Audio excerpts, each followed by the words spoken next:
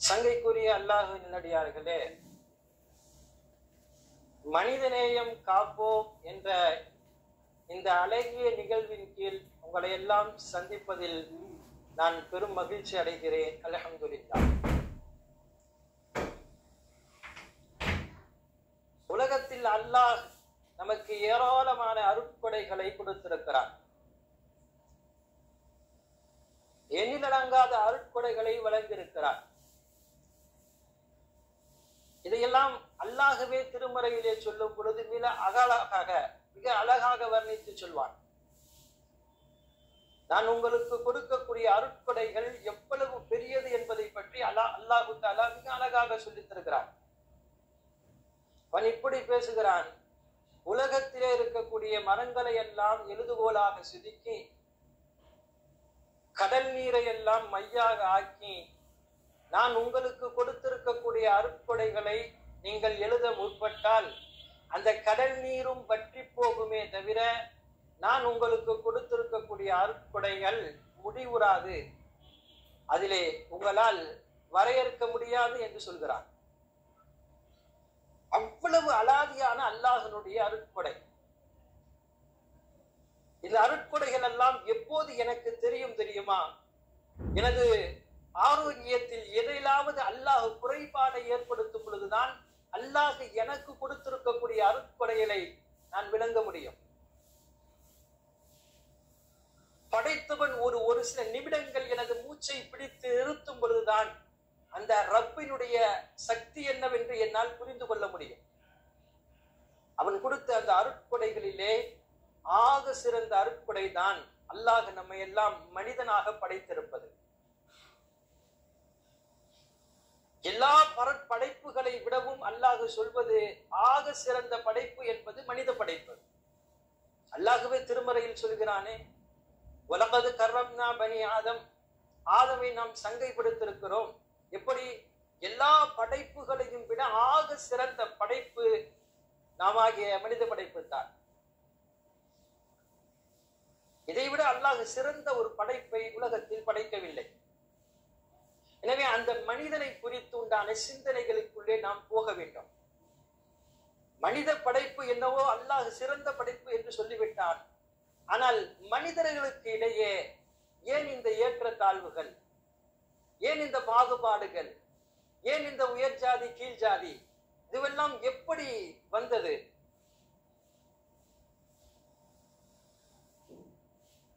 மனிதநேயத்தை பாதுகாப்பதற்கு இஸ்லாம் என்ன வழி சொல்கிறது இஸ்லாம் மனிதநேயத்தை பற்றி எப்படி எடுத்துரைக்கிறது என்றெல்லாம் நாம் சிந்திக்க கடமைப்பட்டிருக்கிறோம். பெருமானா சல்லல்லாஹு அலைஹி செல்லம் உலகத்திற்கு வருகைக்கு முன்னால் மனிதநேயம் எப்படி இருந்தது? பெருமானார் செல்லல்லாஹு அலைஹி செல்லம் அவர்கள் வருகைக்கு பின்னால் அது எப்படி புனிதநேயமாக மாறியது என்பதை பற்றியெல்லாம் இந்நிகழ்வின் மூலமாக நாம் தெரிய இருக்கிறோம் ஆரம்பமாக குர்ஆனுடைய வழியிலே நாம் மனிதநேயத்தை பற்றி விளங்கலாம். பொதுவாகவே இஸ்லாமிய பார்வையில் ஆன்மீகம் வேறு மனிதநேயம் வேறு என்பது கிடையாது. ஆன்மீகத்திற்குள்ளேயே அல்லாஹு தாலா மனிதநேயத்தை பற்றி பேசுகிறார் தனியாகவும் கூட அல்லாஹு மனிதநேயத்தை பற்றி பேசுகிறான். எல்லா மார்க்கங்களுக்கும் மதங்களுக்கும் கொஞ்சம் வித்தியாசமானது இஸ்லாமிய மார்க்கம். எல்லா மார்க்கமும் தங்களுடைய மதங்களுக்குள்ளேயே மனிதநேயத்தை சொல்லுமா? அது தெரியாது. ஆனால் இஸ்லாம் பேசுகிறது எப்படி தெரியுமா? வேதங்களுக்குள்ளேயே மனிதநேயத்தை பற்றி இஸ்லாம் பேசுகிறது.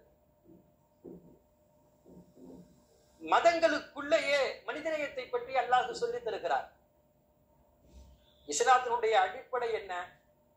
நாட்டு மத சகோதரர்களை கேட்டாலும் கூட அழகாக சொல்வார்களே. இஸ்லாத்தினுடைய அடிப்படை சட்டம்.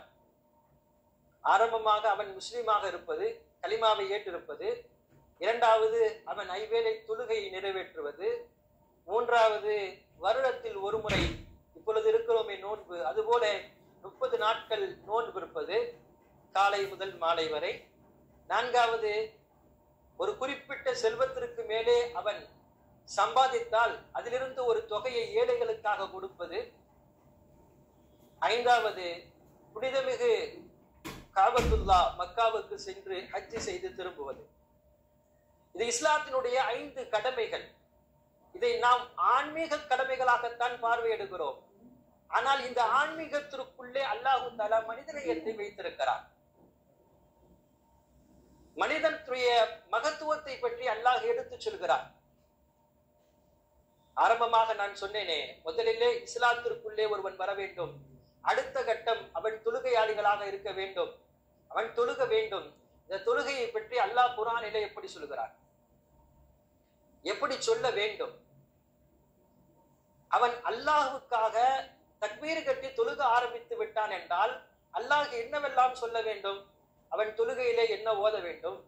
அவன் எப்படி அடுத்த கட்டத்தை அடைய வேண்டும்? அவனுடைய ருக்கு எப்படி இருக்க வேண்டும்? அவனுடைய சிதா எப்படி இருக்க வேண்டும்? இப்படித்தானே அல்லாஹ் குரானுக்குள்ளே தொழுகையை பற்றி பேச வேண்டும். ஆனால் அல்லாஹ் என்ன பேசுகிறான்? அல்லாஹ் சொல்லுகிறான் இன்ன சொலாத்த தொழுகை இருக்கிறது தெரியுமா? அந்த தொழுகை உண்மையான தொழுகையாக ஆக வேண்டும் என்றால் தொழுகை உங்களை என்ன செய்ய சொல்லும் தெரியுமா? தன்ஹா அனில் ஃபஹஷா வல் முன்கர். தொழுகை உங்களை மானக்கேடான காரியங்களை விட்டும் தடுக்க வேண்டும். தொழுகை உங்களை அருவறுப்பத்தக்க காரியங்களை விட்டும் தடுக்க வேண்டும். சுருங்க சொன்னால் தொழுகை உங்களை மனிதனை மனிதனாக ஆக்க வேண்டும். அதற்குத்தான் தொழுகை வேறு ஒன்றும் கிடையாது. தொழுகை எதற்கு தெரியுமா? நீ தவறான பார்வைகள் தவறான சிந்தனைகள் தவறான எண்ணங்களை விட்டும் நீ பாதுகாத்துக் கொள்ள வேண்டும். மனிதனை மனிதனாக ஆக்கக்கூடியதுதான் தொழுகை. உலகத்தில் எந்த மார்க்கம் இப்படி அழகாக பேசும்? நான் சொல்லுகிறேனே ஷரியத்திற்குள்ளேயே ஆன்மீகத்திற்குள்ளேயே அல்லா மனிதநேயத்தை பற்றி பேசுகிறார்.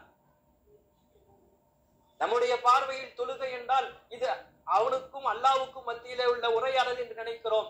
உரையாடல் மட்டுமல்ல இது மனிதத்துவத்தை மக்களுக்கு அல்லாது கற்றுக் கொடுக்கக்கூடிய மிகப்பெரிய பாடம் தொழுகை. பெருமானா செல்லல்லாஹு அலைஹு செல்லம் அவரிடம் வந்து ஒரு சஹாபி கேட்கிறார் யார சுருல்லா ஒரு மனிதர் அவர் தொழுகிறார் திருடுகிறார். தொழுகவும் செய்கிறார் திருடவும் செய்கிறார். இவரை என்ன சொல்வது என்று கேட்கிறார்கள். பெருமனா ஸல்லல்லாஹு அலைஹி வஸல்லம் அவர்கள் இதற்கு ஒன்றும் சொல்லவில்லை. ஒரே ஒரு வார்த்தையை சொன்னார்கள்.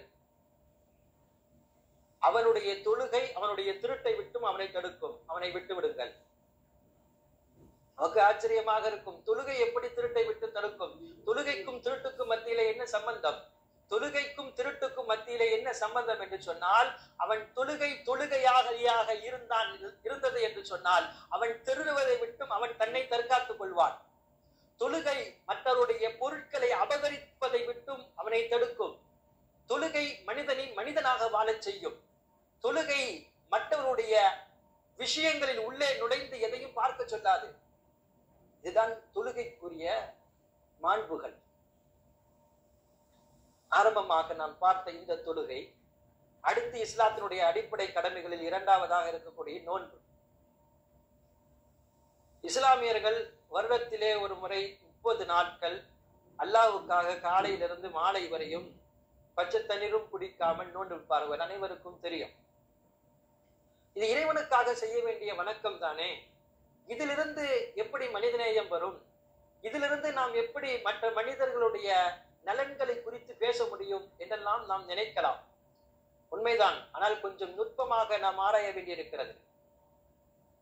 நோன்பிருப்பவன் நமது பார்வையில் வெறும் பசித்திருக்கிறான் என்பது மட்டுமல்ல. நோன்பிருப்பவன் வெறுமனையே தாகித்திருக்கிறான் என்பது மட்டுமல்ல. நோன்பை அல்லாஹ் யாருக்கெல்லாம் கட்டளையிடுகிறான்? இஸ்லாமியான ஆகிய அனைவரும் நோன்பு இருக்க வேண்டும். இதிலே செல்வந்தன் என்றோ ஏழை என்றோ பணக்காரன் என்றோ பரம்பரை ஏழை என்றோ இவன் உயர்ந்த குலத்தவன் என்றோ இவன் தாழ்ந்த குலத்தவன் என்றோ பாகுபாடுகள் எல்லாம் கிடையாது. எதற்காக சொல்லுகிறேன் என்றால் செல்வந்தர்கள் எந்த காலத்திலும் பசித்தவர்களாக இருக்க முடியாது வாழ்க்கையில். ஏழைகள் என்ன வேண்டுமானாலும் என்றைக்காவது அவர்கள் பசித்திருக்க வாய்ப்பு இருக்கிறது. காரணம் பொருளாதாரத்தை ஈட்ட முடியாமல் சில நேரங்களில் அவர்கள் சாப்பிடாமலும் கூட இருப்பார்கள். சொல்லுங்கள் ஆனால் ஒரு செல்வந்தன் எப்போதாவது பசியுடன் இருப்பானா? ஏனென்றால் அந்த தேவை அவனுக்கு ஏற்படாது. அவனுடைய காசு பணங்களை வைத்து அவன் வாங்கி சாப்பிட்டு விடுவான். எனவேதான் அல்லாஹு தாலா அனைவருக்கும் இந்த நோன்மை கடமையாக்குகிறான்.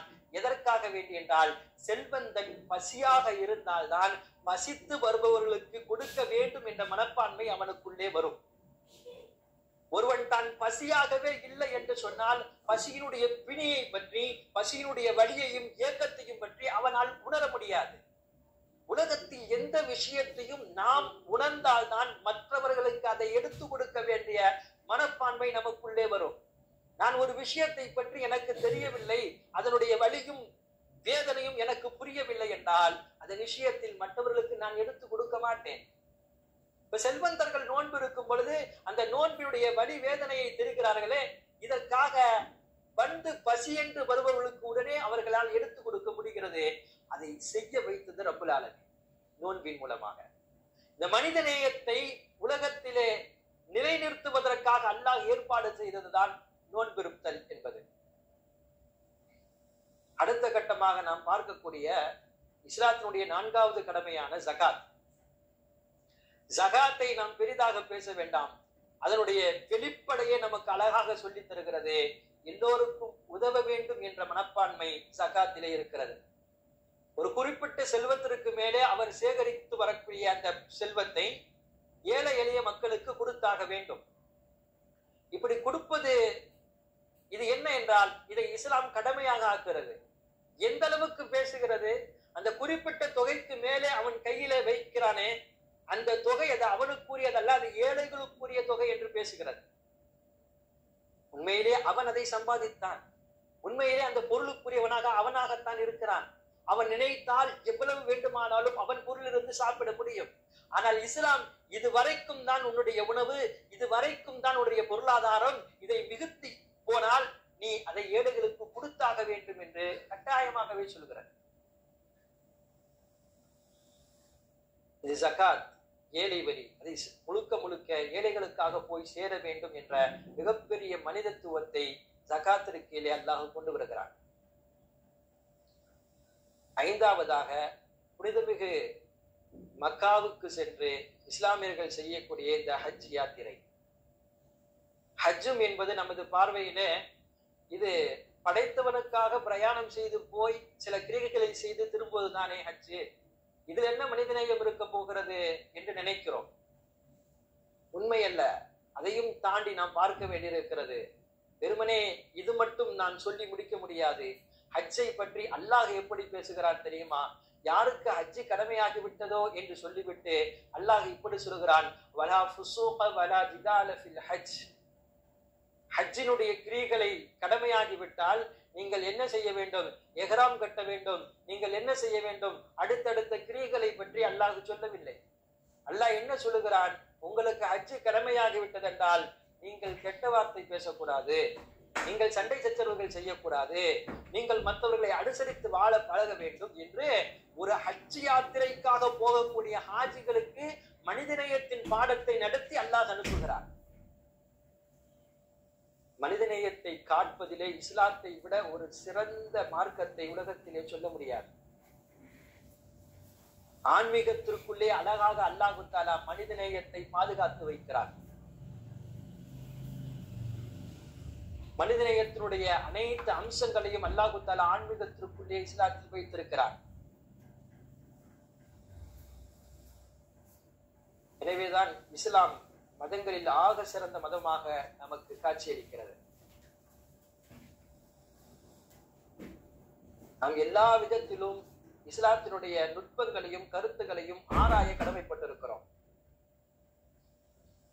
இது குரானுடைய அடிப்படையில் நாம் மனிதத்துவத்தை பற்றி பார்த்தோம். தற்போது இதே மனிதன் மனிதத்தை காப்பதை குறித்து பெருமானா சல்லல்லாஹு அலைவு செல்லம் இந்த பூவுலகிற்கு வருகைக்கு முன்னால் எப்படி இருந்தது? பெருமனா சல்லல்லா அலி செல்லம் அவர்கள் இந்த புண்ணிய பூமிக்கு வந்ததற்கு பின்னால் மனிதநேயம் எப்படி புனிதநேயமாக ஆகி போனது என்பதை பற்றி பார்க்கலாம். பெருமானாருடைய வருகைக்கு முன்னால் மனிதர்கள் அவர்கள் மனிதர்களாகவே இல்லை. சஹாபாக்களுடைய குணங்கள் எல்லாம் சொல்லுக்கும் முடியாத அளவுக்கு அவருடைய குணங்கள் இருந்தது. சொல்லிலடங்காத எத்தனையோ விஷயங்களில் அவர்கள் உள்ளாக்கப்பட்டிருந்தார்கள். அத்தனையும் பெருமானா செல்லல்லாஹு அலைஹி செல்லம் இந்த பூ உலகத்திற்கு வந்ததற்கு பின்னால் அவர்களை புனிதர்களாக மாற்றியது.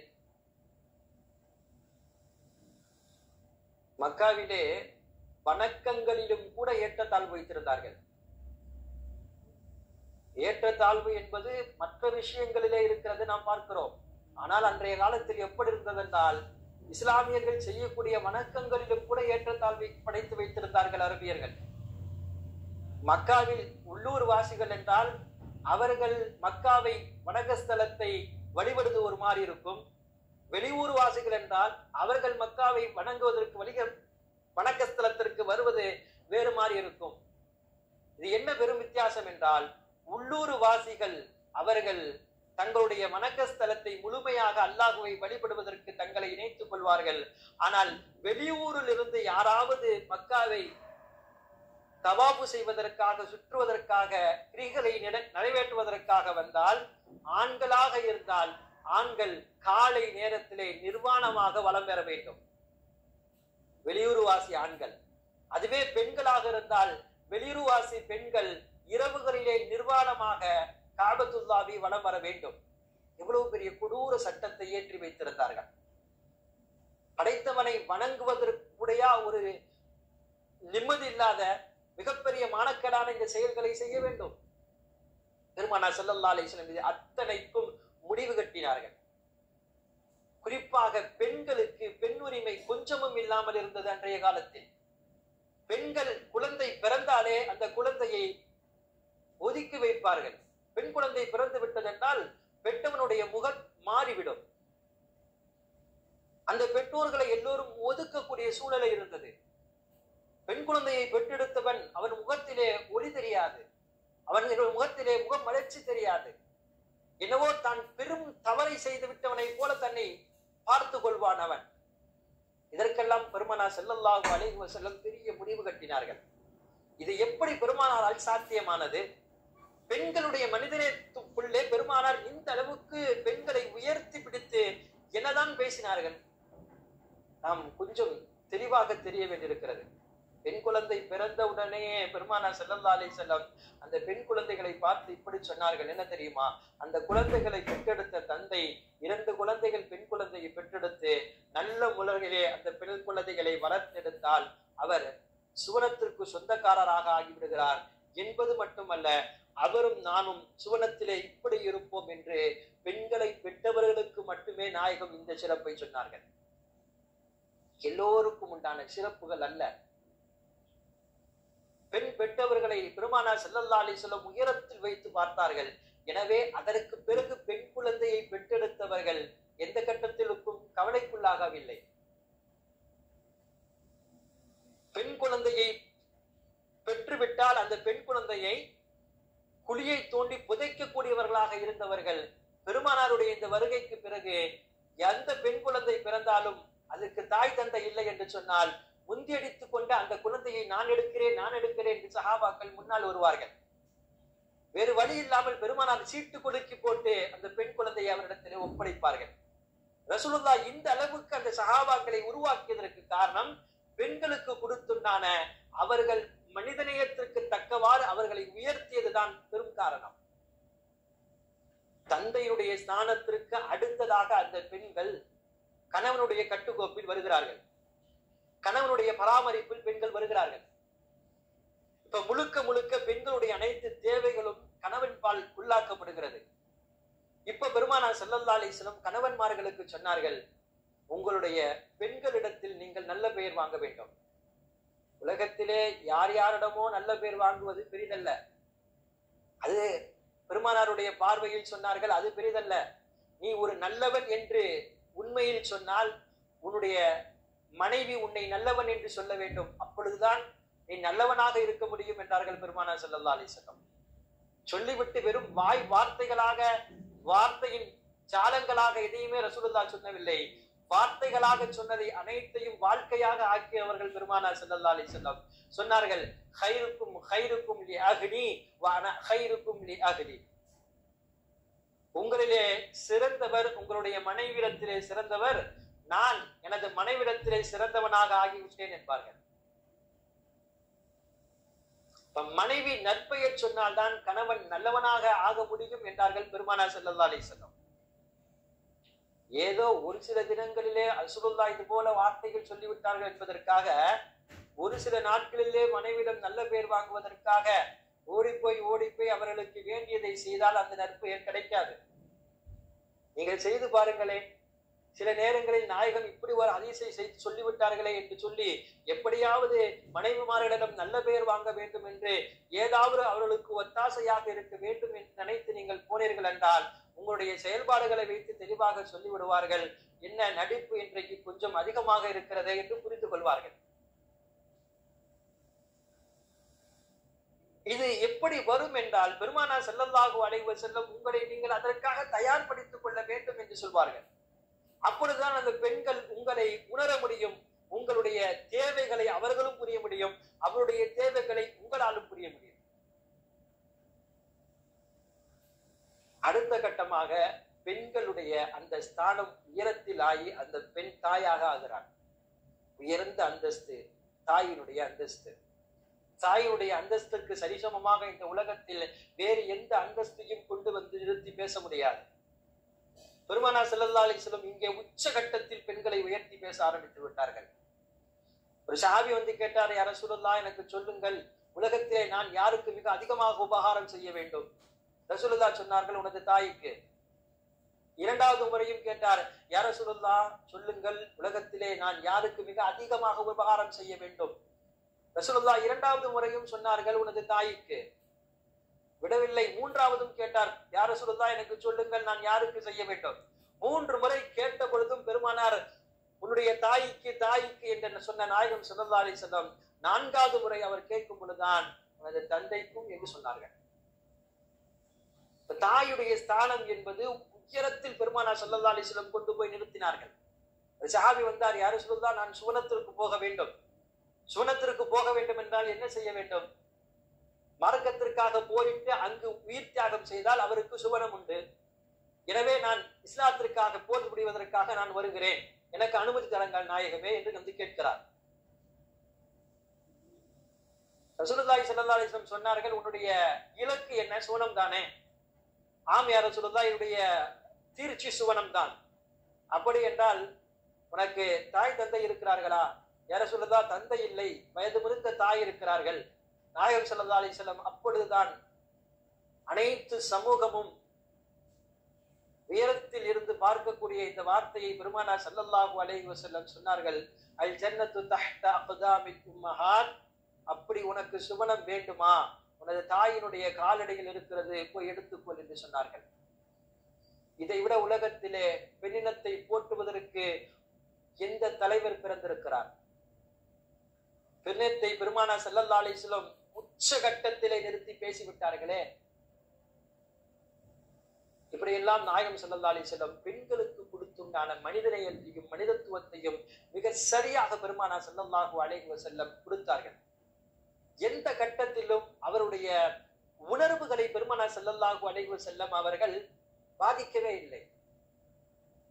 பொதுவாகவே இன்றைய நடைமுறை எப்படி இருக்கிறது என்று சொன்னால் மற்றவருடைய உறவுகளை உணர்வுகளை நாம் புரிந்து கொள்வதே கிடையாது. பெருமானா செல்லல்லா அலி செல்லும் பெண்களுக்குடைய உணர்வுகளையும் புரிந்து கொண்டார்கள். பெண்களுக்கு கொடுக்க வேண்டிய அனைத்து உரிமைகளையும் கொடுத்தார்கள். குறிப்பாக சொத்துரிமை போன்றெல்லாம் பெண்களுக்கு என்று தனியாக பெருமானார் கொடுத்தார்கள். பெருமானாருடைய சபையிலே எதால் எந்த ஒன்று நாளும் மிக அழகாக பெண்மணிகள் தைரியமாக நாயகத்திடமே கேட்கக்கூடிய தருணம் பெருமானார் செல்லல்லா அலி செல்லம் பெண்களுக்கு கொடுத்து வைத்திருந்தார்கள். அதே காலத்தில் ஏதாவது ஒன்றென்றால் எதற்குமே பெண்கள் வாய் திறக்கக்கூடாது ஒரு ஆலோசனையும் கூட பெண்கள் கொடுக்கவே கூடாது அந்த காலத்தில் பெண்கள் ஆலோசனை கொடுத்தால் அதை ஏறெடுத்தும் பார்க்கவும் மாட்டார்கள் பெருமானார் செல்லல்லாஹு அலைஹி சில முழுக்க முழுக்க அந்த உரிமைகளை எல்லாம் பெண்களுக்கே கொடுத்தார்கள்